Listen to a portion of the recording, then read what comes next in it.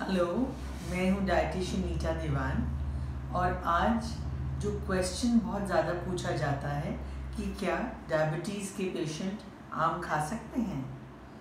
क्या डायबिटीज़ के patients fruit खा सकते हैं? तो फ्रूट क्या है?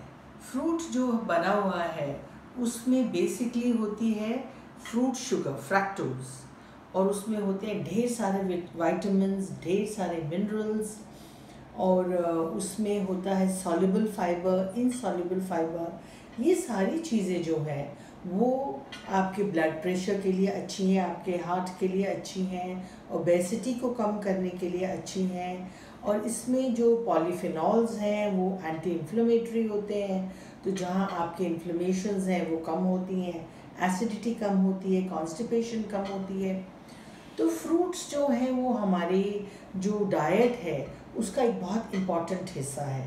बट अगर आपको टाइप टू डायबिटीज़ है तो क्या आपको पता है कि ये रिवर्सिबल है? आप अपनी लाइफस्टाइल में चेंजेस लाकर अपने जो शुगर है, उसकी दवाई कम कर सकते हैं और धीरे धीरे हो सकता है वो बंद भी हो जाए। तो उसके लिए आपको अवेयरनेस होनी चाहिए कि आप क्या चीज़ें हैं जो आपकी शुगर को कंट्रोल करेंगी और आप आम भी खा सकते हैं आप फ्रूट भी खा सकते हैं और एक आपको आम के बारे में सोच के एक हैप्पीनेस सी आती है कि हाँ हम आम खा सकते हैं। सो द थिंग इज़ कि जो हम आ, कुछ भी खाते हैं उसका एक वैल्यू है उसको कहते हैं ग्लाइसेमिक इंडेक्स ग्लाइसेमिक इंडेक्स ये बताता है कि जो आप खा रहे हैं वो ग्लूकोज में बदलेगा जो फ्रूट आपने खाया चपाती खाई डेजर्ट खाया कोई भी, वो शुगर में बदलता है और वो आप, कितनी देर में आपकी शुगर को ऊपर करता है। ये निर्भर करेगा कि आपने किस टाइप का कार्बोहाइड्रेट खाया है। तो उसमें क्या रहता है कि जो फ्रूट्स होते हैं वो मीडियम जीआई या हाई जीआई फ्रूट्स होते हैं, इसलिए उनका ग्लाइसमिक इंडेक्स ज़्यादा होता है।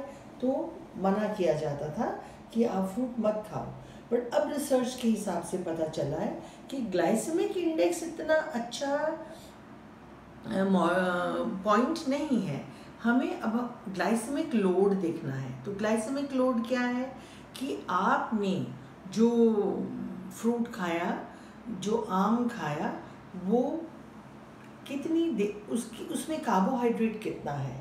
यानी जो ग्लाइसेमिक इंडेक्स उस फ्रूट का था तो उसका कार्बोहाइड्रेट कितना है? वो निर्भर करेगा पोर्शन साइज़ पे कि आपने कितने पोर्शन में वो फल खाया। उसके ऊपर डिपेंड करेगा आपका शुगर लेवल कितना ऊँचा जाता है। जैसे कि हम अगर बात करते हैं जनरल में तो जो आ, फ्रूट में 15 से 20 ग्राम कार्बोहाइड्रेट है तो एक सफ़ेद ब्रेड के स्लाइस में भी 15-20 ग्राम कार्बोहाइड्रेट है। अगर आप एक कैन कोला का पीते हैं, उसमें पैंतीस ग्राम कार्बोहाइड्रेट है और एक मीडियम स्लाइस चॉकलेट केक में भी पैंतीस ग्राम ही कार्बोहाइड्रेट है तो हम ये सोचें कि आज जो आपका शुगर का लेवल होगा वो टोटल फ़ूड पे डिपेंड करेगा कि आपने टोटल में अगर आप रोटी भी ले रहे हैं, चावल भी ले रहे हैं और ऊपर से आम भी खा रहे हैं और डेजर्ट भी खा रहे हैं तो नेचुरली आपका शुगर लोड आपकी शुगर बहुत स्पाइक हो जाती है और आपका शुगर आउट ऑफ़ कंट्रोल चला जाता है। तो आप पूरे दिन का जो आपका डाइट है, वो देखें कि अगर आपने मैंगो खाना है तो उसका पोर्शन जो है मैंगो का, जैसे मैंगो अगर हम लेते हैं तो उसका ग्लाइसेमिक इंडेक्स 51 टू 56 है। और उसका जो ग्लाइसेमिक लोड है, वो करीबन 18 19 के पास है।